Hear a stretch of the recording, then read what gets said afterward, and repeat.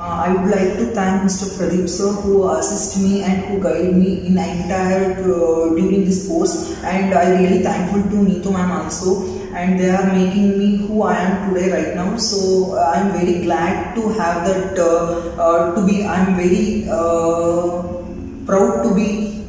of this uh, uh, QSpider. So yeah, thank you, thank you all the faculties and HR who's out there, who's helping me each and every day and uh, boosting my confidence to get a job and um, uh, helping other side also. And thank you for everyone. Thank you.